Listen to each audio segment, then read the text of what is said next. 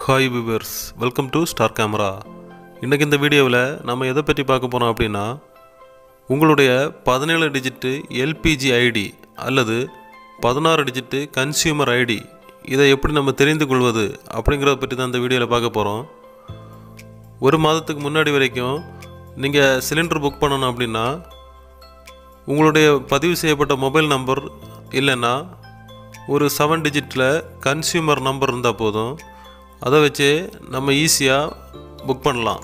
ஆனால் இப்போது IVRS method அதாவது ஃபோன் மூலம் சிலிண்டர் புக் செய்யணும்னா புதிய தொலைபேசி எண்ணை அறிமுகப்படுத்தியிருக்காங்க. இந்த புதிய தொலைபேசி எண்ணிலிருந்து நாம் புக் செய்யும்போது நம்மளுடைய கன்சியூமர் ஐடியை என்ட்ரு செய்ய வேண்டியிருக்கும். இதுக்கு முன்னாடியெல்லாம் நாம் கன்சியூமர் நம்பரை என்ட்ரு பண்ணுவோம். ஆனால் இப்போ புதியதாக கன்சியூமர் ஐடியை என்ட்ரு செய்ய வேண்டியிருக்கு. இந்த கன்சியூமர் ஐடி இதை எப்படி நம்ம தெரிந்து கொள்வது? அதை பற்றி தான் பார்க்க போகிறோம் எல்பிஜி ஐடி அப்படிங்கிறது பதினேழு டிஜிட்டில் இருக்கும். ஆனால் இந்த கன்சியூமர் ஐடி பதினாறு டிஜிட்டில் இருக்கும். அதாவது இந்த எல்பிஜி ஐடியில் இருக்கக்கூடிய ஃபஸ்ட்டு டிஜிட்டை விட்டுட்டு மீதி ஏழுன்னு ஸ்டார்ட் ஆகக்கூடிய அந்த பதினாறு டிஜிட்டு தான் கன்சியூமர் ஐடி. இந்த கன்சியூமர் ஐடியை வச்சு நம்ம PhonePe Google Pay Amazon Pay இதிலெல்லாம் கூட நம்ம ஆன்லைன்லேயே சிலிண்டரு புக் செய்ய முடியும். உங்களுடைய எல்பிஜி ஐடியை ஆன்லைன்லேயே எப்படி கண்டுபிடிக்கிறது அப்படிங்கிறத பற்றி தான் இந்த வீடியோவில் பார்க்க போகிறோம் ஸோ கடைசி வரைக்கும் ஸ்கிப் பண்ணாமல் பாருங்கள் வாங்க வீடியோக்குள்ளே போகலாம். உங்களுடைய மொபைலில் கூகுள் ப்ரௌசர் ஓப்பன் பண்ணிக்கோங்க. அதோட சர்ச் பாக்ஸில் மை எல்பிஜி டாட் இன் அப்படின்னு டைப் பண்ணுங்கள் my LPG dot in type பண்ணி சர்ச் கொடுங்க. சர்ச் கொடுத்த உடனேயே ஃபஸ்ட்டில் ஒரு டாபிக் இருக்கும் மை எல்பிஜி டாட் இன்னு அதில் கிளிக் பண்ணிக்கோங்க. அதில் கிளிக் பண்ண உடனேயே அடுத்த இன்டர்பேஸ் இப்படி தான் இருக்கும். இதில் ரைட்டில் click here to know your LPG ஐடின்னு இருக்குது அதில் கிளிக் இயரில் கிளிக் பண்ணிக்கோங்க.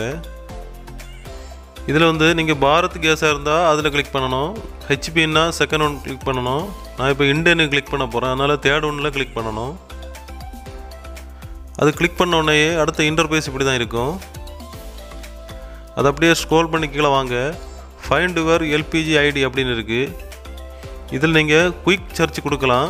ஆனால் சில டைமில் வராது. அதனால் நார்மல் சர்ச்லேயே கொடுத்துருக்கோங்க.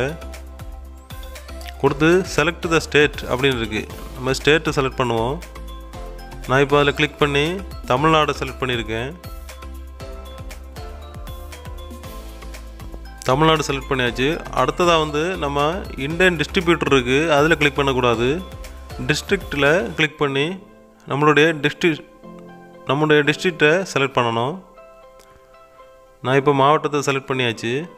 அடுத்ததாக செலக்ட் டிஸ்ட்ரிபியூட்டர் அதில் கிளிக் பண்ணணும். இப்போ உங்களுடைய டிஸ்ட்ரிபியூட்டர் யாருன்னு பார்த்து அதில் கிளிக் பண்ணிக்கோங்க.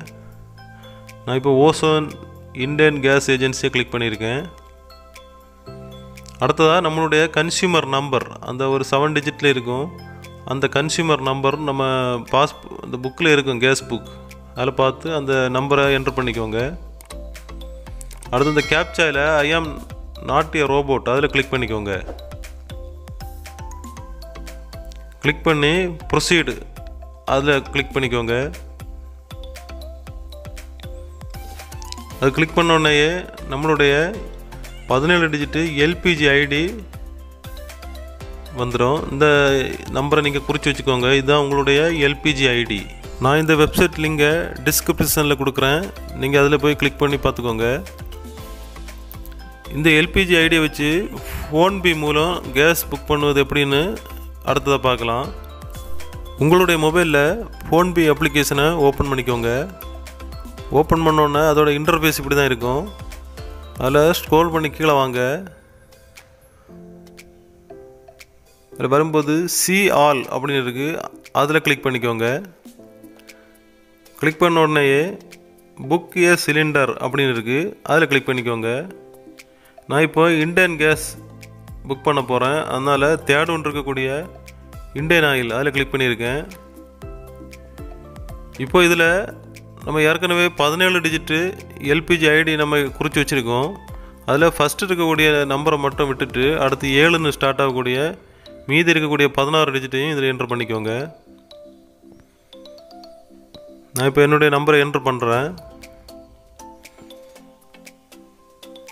என்டர் பண்ணி கீழே கன்ஃபார்ம் இருக்குது அந்த கன்ஃபார்மில் கிளிக் பண்ணணும்.